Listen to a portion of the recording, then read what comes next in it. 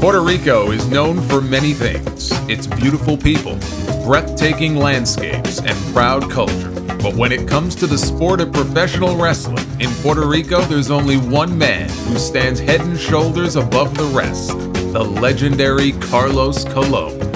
With a career both in the ring and out spanning more than half a century, Colon has clashed with some of the greatest titans of all time.